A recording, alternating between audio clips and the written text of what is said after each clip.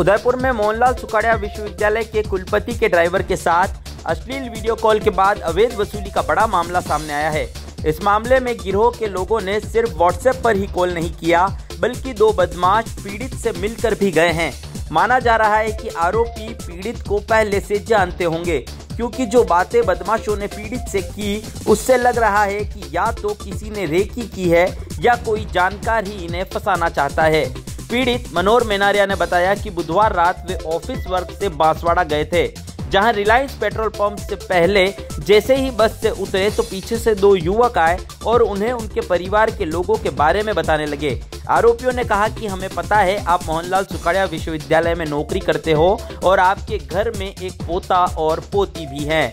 यह सुनकर उन्हें लगा कि वह लोग कोई परिचिति हैं। बाद में बदमाशों ने कहा कि कुछ देर बाद तुम्हारे पास एक वीडियो कॉल आएगा और उसमें आगे से जो भी कहें, वैसा ही करना। अगर ज़्यादा होशियारी लगाई तो तुम्हारे पोते को मौत के घाट उतार दिया जाएगा। यह कहकर बदमाश वहाँ से भाग गए। कुछ देर बाद मनोहर मेनारिया होटल पहुँचे और सोने की तैयारी में थे कि उनके मोबाइल पर एक अनजान नंबर से वीडियो कॉल आया। उन्होंने जैसे ही कॉल उठाया तो सामने से नग्न अवस्था में एक लड़की दिखाई दी और उसने भी कहा कि आपको पता है ना क्या करना है। बस स्टॉप पर बदमाश जैसा कहकर गए थे, वही पीड़ित मनोहर के साथ हो रहा था। कुछ देर बाद व्हाट्सएप कॉल पर युवती ने इन्हें भी वस्त्र उतारने के लिए कहा, लेकिन इन्होंने अपने कपड़े नहीं उतारे।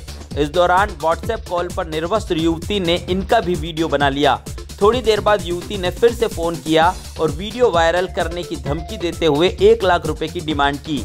मनोहर मेनारिया ने लड़की को साफ़ कह दिया कि उनके पास पैसे नहीं हैं।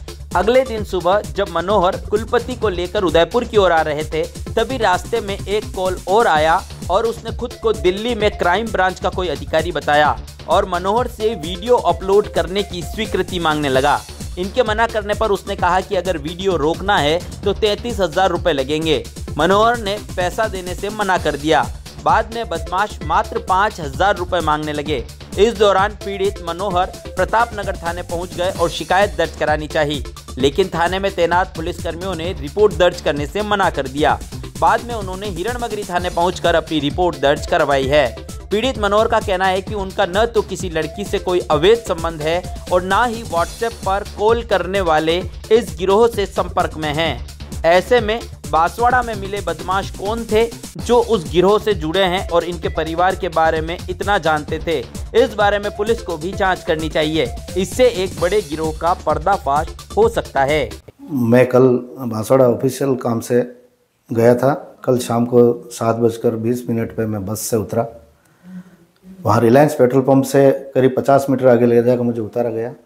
वहाँ जैसे मैं उतरा और मैं गंतव्य स्थान के लिए रवाना हुआ तो मुझे दो व्यक्ति नकाब बंद मुँह बंधा हुआ था। उन्होंने आके मुझे बोला कि तो आपका नाम ये है। और आप वहाँ से आ रहे हैं और आप अभी वहाँ से रिटायर हो चुके हैं, हमें सब मालूम है और आपके परि, आप यहाँ किस काम से हैं वो भी हमें मालूम है और आपके परिवार में आपका पोता एक द्वैता एक द्वैती हैं और आपका पूरा भरा परिवार है और आप अच्छे घर से हैं तो हमें आपसे ये उम्मीद रहेगी कि आप जो आपके पास एक कॉल आएगा, उसमें जो हम जो कहते हैं तुम्हें वही करना है, अपनी तरफ़ से कोई अलग से होशियारी मत लगाना, नहीं तो तुम्हारे परिवार में से आप, तुम्हारे पोते को ख़त्म कर दिया जाएगा। तो मैंने कहा कि हाँ भैया, बोलिए क्या करना पड़ेगा? अभी कुछ नहीं करना, अभी तुम जाइए, जहाँ भी जाना चाहिए, तुम्हारा कॉल हमने ट्रेस कर रखा है। उसके बाद में गेस्ट हाउस में वहाँ पे रुका लैंडमार्क करके होटल है, वहाँ पे मैं रुका। तुरंत उसके बाद में एक मेरे पास कॉल आया तो वो कॉल जैसे मैंने रिसीव किया, एक लड़की बोली, मैं पूजा बोल रही हूँ और तुम्हें पता है क्या करना है। तो उसने उस उसकी जो अश्लील हरकतें थी, वो कर चालू कर चालू की और मुझे भी मेरे जो वस्त्र है वो उतारने के लिए बोला। तो मैंने बनियान और अंडरवियर पहन के मैं सो रहा था।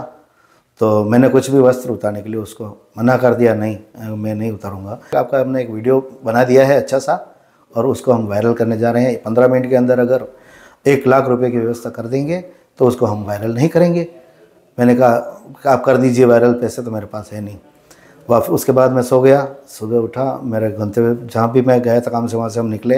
रास्ते में खिराड़ के वहाँ पर एक किसी राम कुमार पांडे करके कोई ऐसी भी बोल के बोल रहा हूँ दिल्ली से, और मैं साइबर सेल में आपका एक वीडियो आया हुआ, उसको वायरल करने के लिए कहा गया है तो क्या उसको वायरल कर दूँ कि आपके परमिशन चाहिए।